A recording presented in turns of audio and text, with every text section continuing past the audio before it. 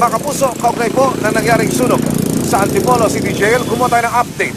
Makapiling natin live ang tagapagsalita ng Bureau of Jail Management and Penology, si Jail Chief Inspector Xavier Solda. Sir, magandang hapon. Welcome po muli sa QRT. Yeah. Ah, Major Solda, ah, update po dito sa isinasagawang investigasyon ng BJMP.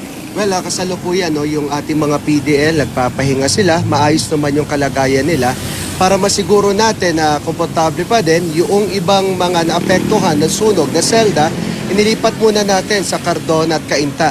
At ah, nais lang din nating ah, ipaalam sa publiko, no, nagpapasalamat kami kasi nakita namin kung gaano ka-effective yung program. Kasi during the incident kahapon, yung mga PDL na rin natin ang na-utilize namin na ah, ayusin nila yung kanilang mga sarili. Bagamat merong isang nagsamantala no, na tumakas, kaninang umaga, ah, sumuko rin no, na, at humingi ng paumanin kasi nataranta lang daw siya. No. Ba, gan- ganun pa man, natutuwa kami at ah, walang na, nangyari talaga na grabe. No. At ah, yung ating mga personnel, naging alerto sila ah, na siguro natin na naging maayos yung kalagayan ng mahigit isang libo. In fact, halos 1,600 na mga PDL natin. Major Solda, linawin lang namin. Ano po lumalabas na ugat ng nangyaring sunog? Well, ongoing pa yung investigation ng Bureau of Fire Protection. No? Sila naman na talaga magsasabi kung ano ba talaga ang naging dahilan. Pero ah, doon sa unang pagtatala namin, no, may nagsabi na ah, doon nga dahil sa, sa kawad ng kuryente, doon sa loob mismo ng ah, selda. Hindi naman ho ito sinadya, wala hong foul play. Wala naman ano kasi ah, regular naman yung pagche-check ng ah, ng pamunuan ng Antipolo City Jail. In fact, ah, kakatapos nga lang na maisaayos yung mga circuit breakers no. Ah, continuing yung project at ah, nangyari nga itong insidente na ito. Mga kapuso, sa mga sandaling ito, nagsisimula na ang briefing ng pag-asa. Panoorin po natin ito. Babalikan po natin si Major Solda. Balikan naman natin ulit si Jail Chief Inspector Xavier Solda, ang tagapagsalita ng uh, Bureau of Jail Management and Penology. Pinag-uusapan po namin kanina ang nangyaring insidente ng sunog dito po sa Antipolo City Jail.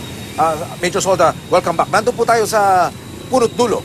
Ano ho ang nakikitang ugat ng uh, Bureau of Fire Protection at ang BJMP dito po sa fire incident? Well, ah, sabi mo nga kanina, no, ongoing pa yung investigation ng Bureau of Fire Protection. No? Sila naman talaga magde-determine yan. But initially, tinitingnan nilang angulo yung sa kawad ng kuryente, baka nagkaroon ng overload. No?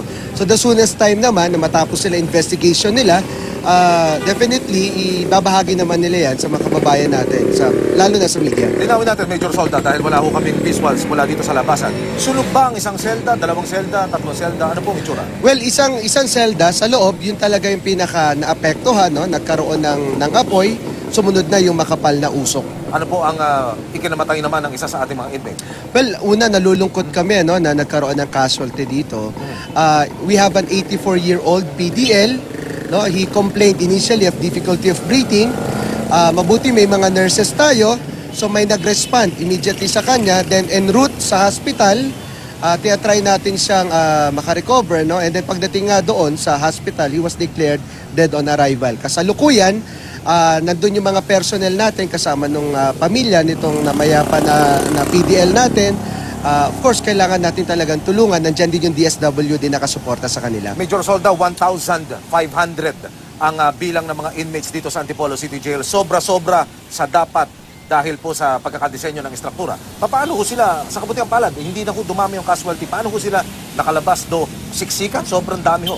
That's correct, ano? Umabot na sa 1,200 yung congestion rate natin. Nagpapasalamat na lang tayo at uh, very cooperative yung mga PDL natin. Bagamat uh, outnumbered yung mga personnel natin, uh, itong more than 1,500 na to, nadala sila sa isang safe na lugar. Yun naman yung mahalaga.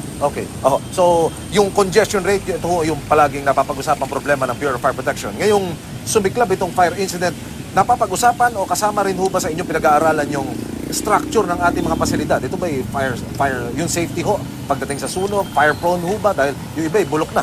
Well, meron naman na kami mga proposals ano para sa construction ng bagong Antipolo City Jail. Aha. Yun nga yung panawagan namin sa local government unit. Sana mabigyan na ng spasyo ng lupa.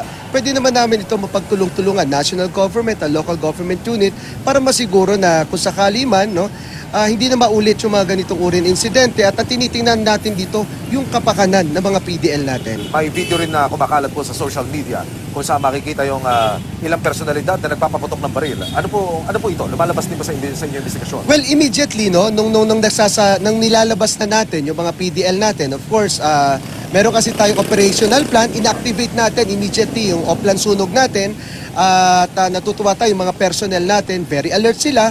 Katulong din natin yung PNP, no? Nag, nag merong mga nag nag ah, nag ah, paputok talaga no para para lang i-pacify no yung mga PDL natin at nagpapasalamat naman kami nag-obey naman sila. Balikan natin yung problema sa congestion bilang Pangulo Major Solda. Alam pong panawagan ninyo na patuloy pong nagiging problema ang sik sobrang siksikan sa ating mga pingitan. Well, patuloy na panawagan po ng BJMP no, sa mga lokal na pamahalaan na sana tulungan din yung national government, lalo na yung BJMP, upang ah, masolusyonan itong ah, issue ng congestion. Sabi ko nga po parate, ang issue po ng ah, congestion sa kulungan, ito po issue hindi lamang ng BJMP, kundi issue maging din ng lokal na pamahalaan na pwede naman natin pagtulong-tulungan. Pati po sa judiciary, yung sa Judikatura. Ano? Ah, tama po kayo, no? pati na yung justice system natin. Pero ah, ang, ang, ang DILG naman po nakatutok talaga dito. In fact, for 2019, malaking pondo po ang binigay ng national government. Yun nga lang ang problema natin, yung lupa na pagtatayuan.